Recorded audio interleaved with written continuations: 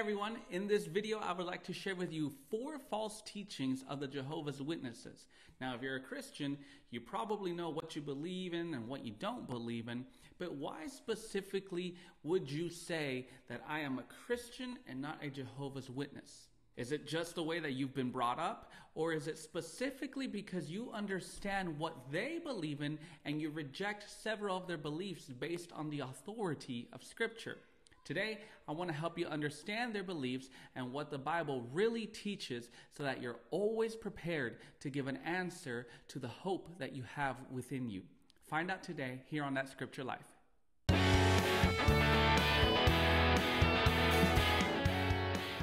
And if you'd like to see more videos like this, please don't forget to subscribe to my YouTube channel and hit the notification bell. The link will be in the comments if you're on Facebook or Instagram.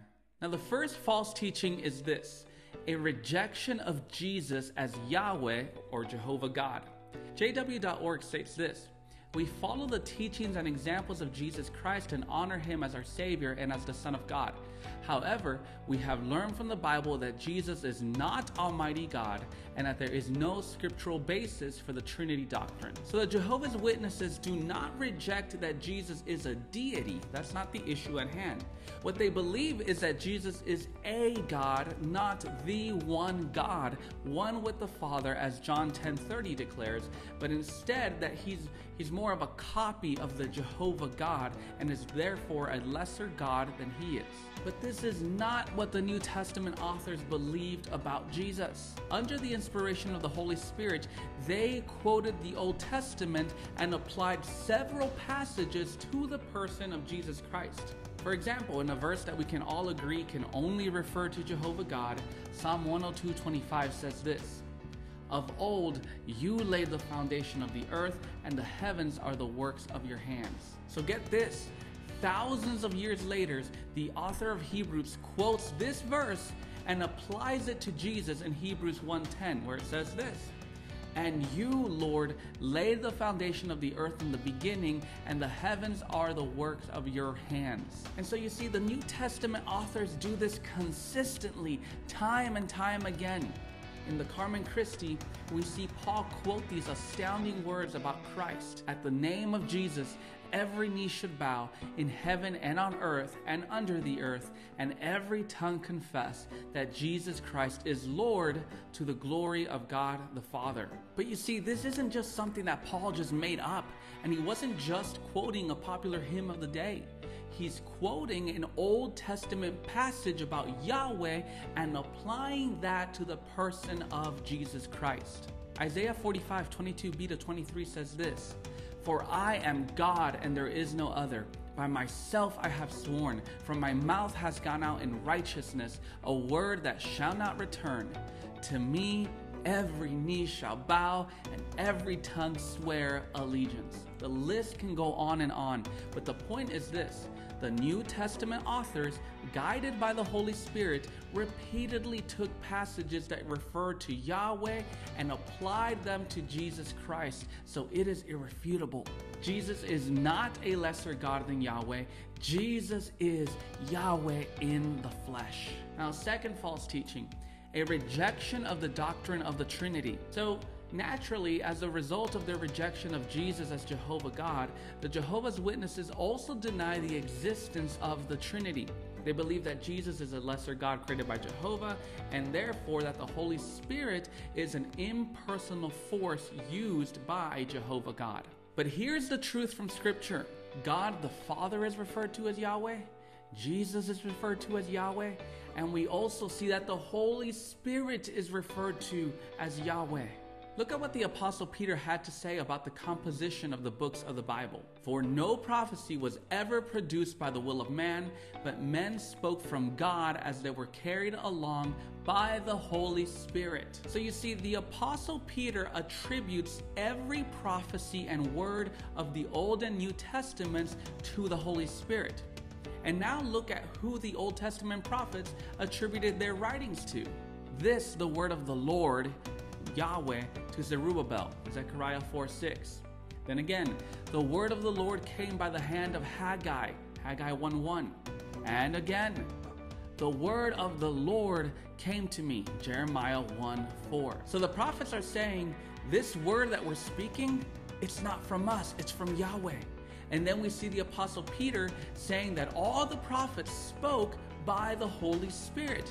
In other words, in the apostles' mind, there is no difference between the Holy Spirit and Yahweh. The clear teaching of Scripture is that the Holy Spirit is Yahweh, Jesus is Yahweh, the Father is Yahweh. Now, this is a topic for a whole other video, but while these three persons are not the same person, in other words, Jesus is not the Father, the Father is not the Holy Spirit, but what we see in Scripture is that all three persons are called Yahweh or Jehovah God, to put it in the Jehovah's Witnesses terms. They're called Yahweh while at the same time declaring that there is only one God. This is why we Christians uphold the doctrine of the Trinity.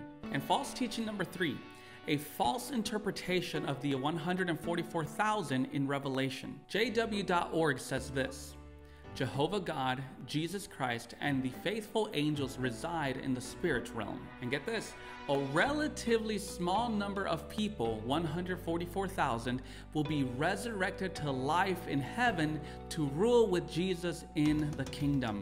So the Jehovah's Witnesses believe that only 144,000 persons will be in heaven with Jesus, while everyone else who is saved will reign on a paradise on earth. And they even take it a step further and say that only those 144,000 are benefactors of the new covenant and only they have the heavenly hope, while all other Jehovah's Witnesses are excluded from the new covenant and only have an earthly hope.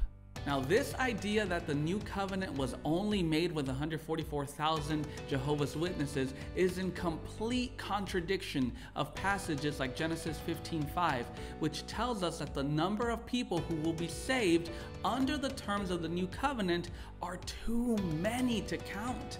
It says, And he brought him outside and said, Look toward heaven and number the stars, if you are able to number them. Then he said to him, so shall your offspring be. And then again in Revelation, after this I looked, and behold, a great multitude that no one could number from every nation, from all tribes and peoples and languages, standing before the throne and before the Lamb, clothed in white robes, with palm branches in their hands. So, scripture actually teaches us that the number of redeemed people in heaven will be countless, as many as the stars in the sky and the grains of sand in the sea, in contrast to the teaching of the Jehovah's Witnesses who have it set as a fixed number. So, the question is who are the 144,000 in reality? Now, I'll be honest, the answer varies even in Orthodox Christianity depending on your view of the book of Revelation, if you're a historicist, a futurist, a partial preterist. And that's a topic for a whole other video, but I will say this. As a partial preterist myself, who believes that the vast majority of Revelation was fulfilled prior to the year 70 when the Romans destroyed Jerusalem, we would say, on scriptural grounds, that the 144,000 are a symbolic number representing the amount of Jews that escaped death when Jerusalem was attacked in the year 70. And the fourth false teaching a rejection of the eternality of hell. J.W. Org says this People who die pass out of existence.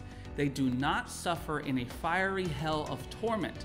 God will bring billions back from death by means of a resurrection. However, those who refuse to learn God's ways after being raised to life will be destroyed forever with no hope of a resurrection. So, in other words, to the Jehovah's Witness, hell doesn't last forever. Unbelievers are simply annihilated, they're erased from existence, never to live again in any kind of way. Now, I'm not gonna lie, this can sound kind of good to some of us. Why is that? It's because we have a hard time understanding how God could torment a human being in hell for all of eternity. It sounds more merciful to just zap them out of existence than continue to live in such a miserable state.